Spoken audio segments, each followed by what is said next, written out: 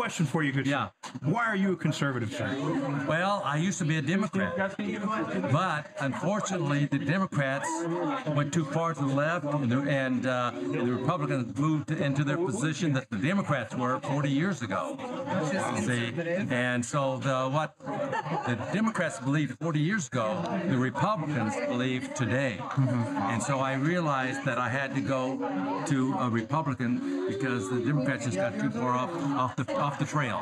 They just got completely off the trail and lost all reality of what America stood for.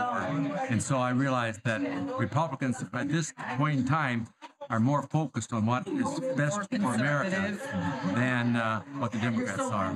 Actually, our pastor agrees with you. He says that he is technically a classical liberal, uh, but which basically means he's uh, what is today a conservative. Yeah, right. Well, uh, uh, uh, President Kennedy, John F. Kennedy, John F. Kennedy today would be a Republican. It would be a Republican. See, because then, uh, then you know, Democrats were more what the Republicans were today, and unfortunately, they lost their way. They lost their way, and so now we're Republicans. I, I, if it makes you feel better, I found my way. I lost it in 2008, and I voted for Obama. So Oh, don't you feel, didn't don't feel to tell too bad. that. I had to, yeah, tell, I had to tell him the truth, you know. But I found I found my way through the era of. Uh, Well, you know, the thing is, if Obama loss. would have fulfilled his promises, Yeah.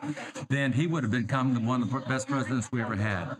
But I was afraid when he was saying all this that it was not going to happen, and that was what I was fearful of. Is, is the him saying that you know he's going to keep everything transparent, where that C-SPAN would to see all the bills and everything that was needed to be done. He not he did not fulfill one Not one thing. promise, and so no, it's sad. But it's going to be young people like you Yeah. that keep our America. Yeah, it's people like you that's going to change this around for us in this country. Well, thank you so much, Ms. Lawrence, for, for coming out here and supporting bet. him and supporting you